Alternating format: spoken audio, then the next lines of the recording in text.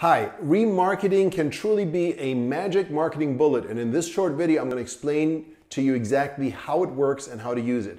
Basically remarketing is following your customers, your audience, your prospects both on social media as well as on uh, the internet. So for example, I'm sure you've been to a retailer, maybe Zappos or some other store online, Walmart, Home Depot, and then all of a sudden you start seeing their ads popping up wherever you go. You're on ESPN or CNN or you're on Facebook and you start seeing their ads. Or on Facebook, let's say you look at, at an ad once and then you start seeing that ad and other ads by the company over and over again.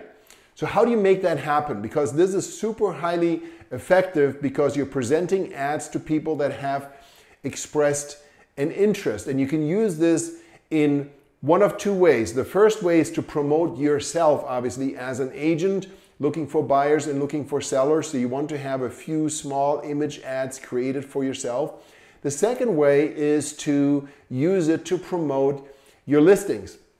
And there are two tools that you want to use. The first one is Adwerx, A D W E R X which is a marketing platform that we provide to our agents, but you can also sign up for it yourself um, that allows you to follow people around on the internet and present ads. And you can upload a, a list of email addresses and so forth.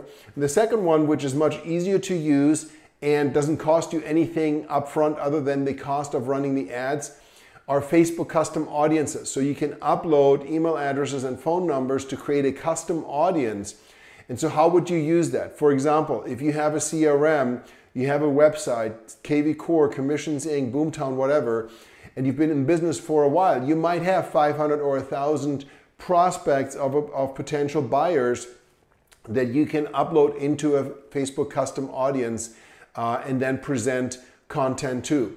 On the listing side, if you are working with uh, tools such Offrs, for example, that are using big data to uh, provide you with lists of sellers that are most likely to uh, make a move. You can use that list and upload it as a Facebook custom audience. And if you want to get really fancy, when you use a tool like Adwerx Enterprise and KV Core, then you can actually set it up so that anytime somebody comes to your website, they will automatically be shown um, your ads uh, that you create with Adwerx and, uh, and then distribute them. So remarketing is a very, very powerful tool. It's a little bit more complex to set up if you do it on your own. Again, I would start with Facebook custom audiences. And uh, we've had very, very good success creating housing ads. As you know on Facebook, when you run an ad, you have to select the special category of housing ads as a real estate agent. And combining that with custom audiences can be very, very, very powerful. Uh, take a look at it, Google remarketing, and um, feel free to drop me a message if you want some more information. My name is Thomas Heimann with Realty Partners, and I hope you found this helpful.